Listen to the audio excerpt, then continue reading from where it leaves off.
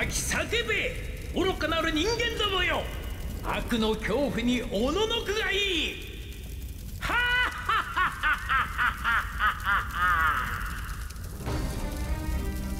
ピッコロ大魔王。その昔平和や正義を破壊し恐怖に満ちた世界を作り出した悪の王である。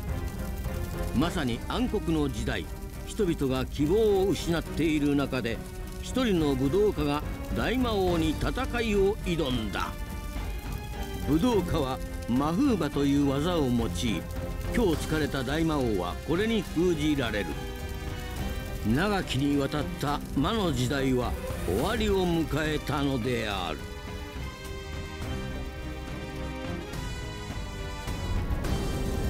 しかし現代不届き者によってその封印は解かれピッコロ大魔王は復活してしまった。大魔王とその一味は抵抗する者を根絶やしにするため武道家たちを手にかけていく。クリリンチャオズそして無天老師多くの名のある武道家が犠牲となった。抗いようのない恐怖に人々は逃げ惑い。いよいよピッコロ大魔王による悪の統治が迫った。しかしそれでも諦めず大魔王に挑む者がいた。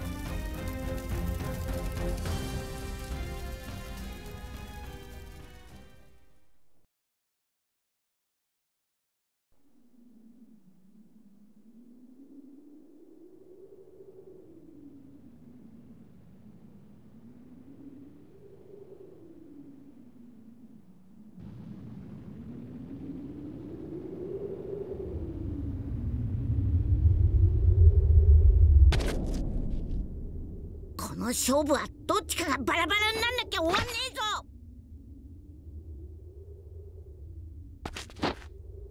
無論貴様だ。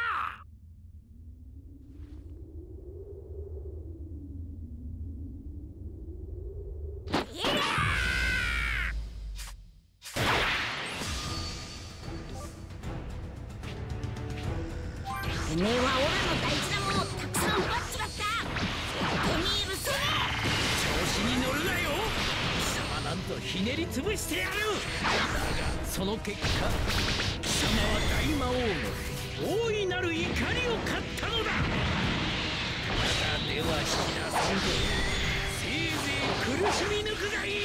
はっとくらえ去ってやるえ菅のおめえも時が鈍くなってきた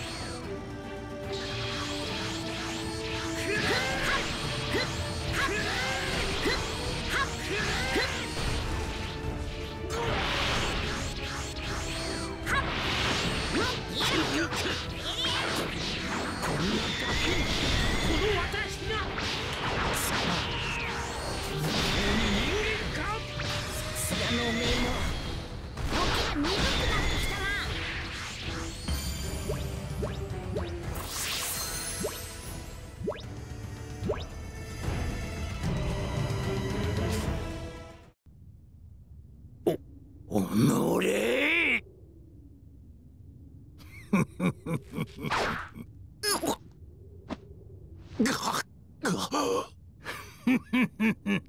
わずかでも動いてみろ。こいつの頭ぐらい一瞬で粉々にできるぞ。貴様たち人間の弱点はその精神的な甘さにある。非常になりきれんやつが悪に勝てるわけがなかろう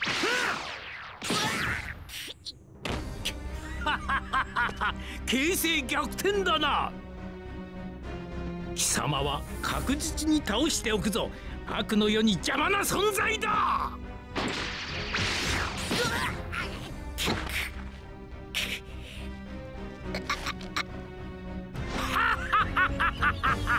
どうすることもできんだろ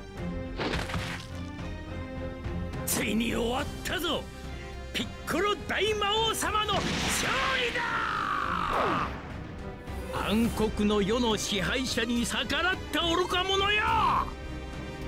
死ね！失敗したな！腕こしてた！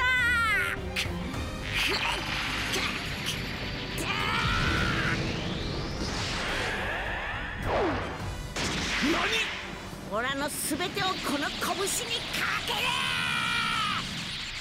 る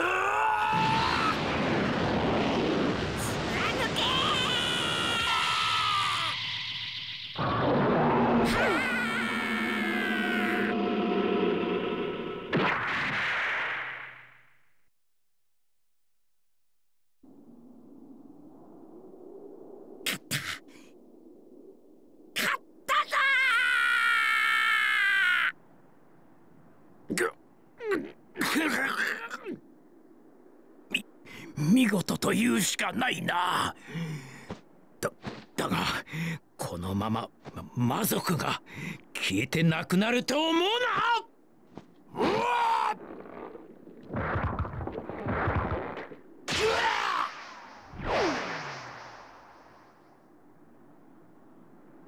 我が子よいつの日か父の恨みを晴らしてくれ。悪の根を絶やしてはならんぞ。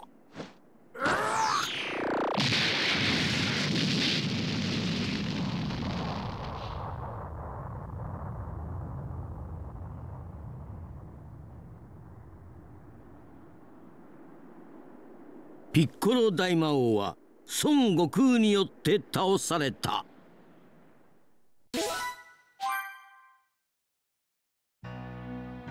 恐怖に沈み込んでいた世界はしかしその平和ピッコロ大魔王は己の意志を継ぐ者を生みピッコロ大魔王の生まれ変わりが動き始めるのは3年後の天下一次なる脅威に立ち向かうため悟空は神のドラゴンボールによってピッコロ大魔王天下一武道会に向けてそして3年